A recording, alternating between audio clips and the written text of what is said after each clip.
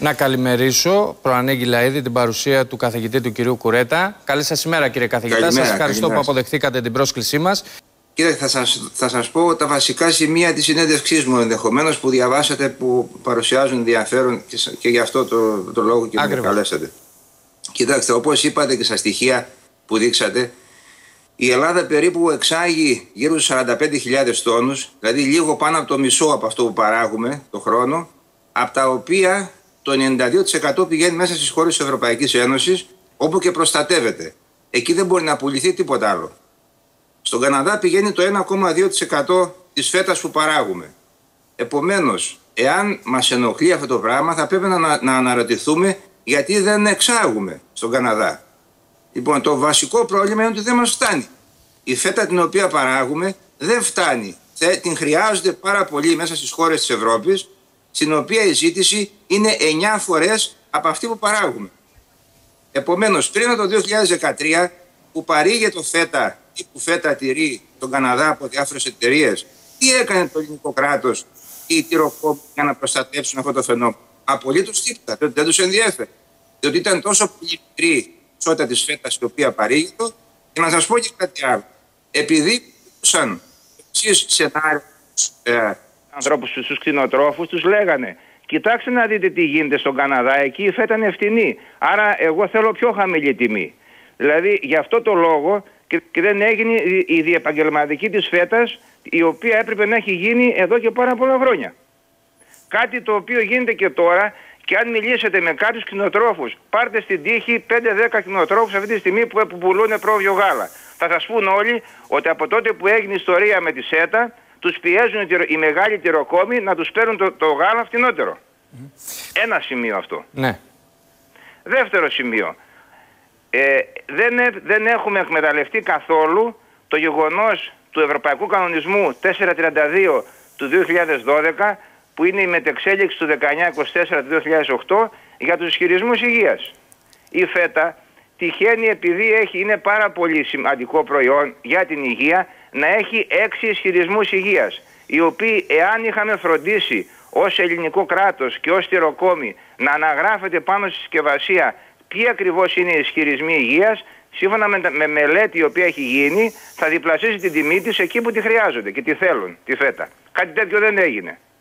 Επομένως όλη αυτή η συζήτηση η οποία γίνεται αυτή την εποχή εγώ θεωρώ ότι γίνεται στο βωμό του λαϊκισμού και μιας ευτελούς έτσι, αντιπαράθεσης ανάμεσα στα κόμματα και τα πραγματικά προβλήματα ούτε νωρίτερα θέλουν να τα αντιμετωπίσουν, ούτε και τώρα θέλουν να τα αντιμετωπίσουν, διότι δεν υπάρχει σχέδιο.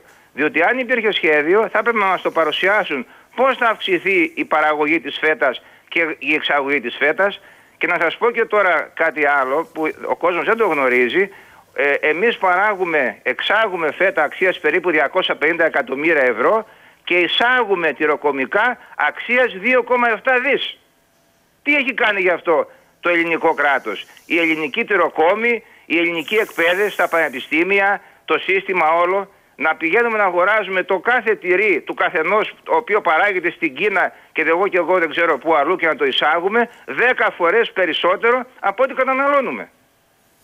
Πού είναι ε... τα βήματα τα οποία έχουμε κάνει για να προστατεύσουμε το προϊόν μας; Και πολιτεία και τυροκόμη λέτε. Θα έπρεπε... κυρίως, κυρίως το δεύτερο. Εγώ σαν ειδικός και με τη σχέση που έχω με τον κλάδο, επειδή εργάζομαι ερευνητικά πάνω στον τομέα εδώ και αρκετά χρόνια, θεωρώ ότι την πιο σημαντική ευθύνη την έχουν οι τυροκόμοι.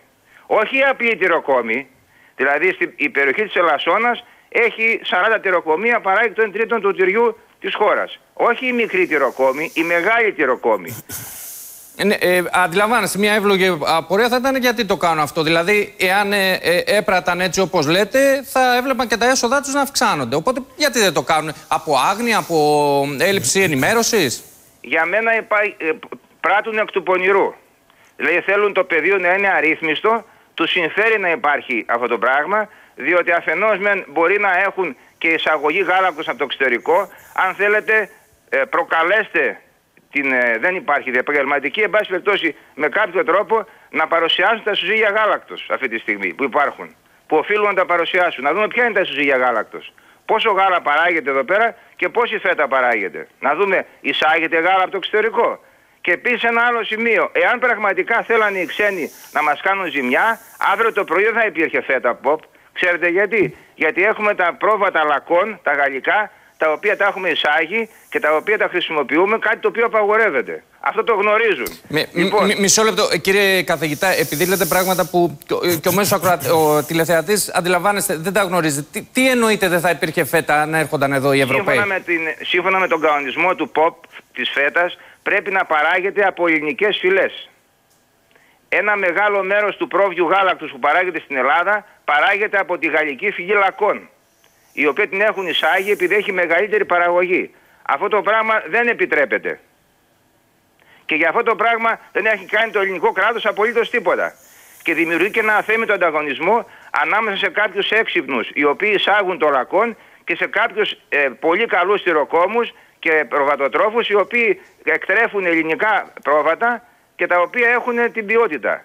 Και επίσης υπάρχουν και κάποια θέματα όπως πριν από λίγο καιρό έκλεισε ο, ο, ο σταθμός των Σερών, ο οποίος διατηρούσε το σεραϊκό πρόβατο. Ένα πάρα πολύ, μια πολύ σημαντική φίλη. Έκλεισε, διότι δεν υπήρχε προσωπικό.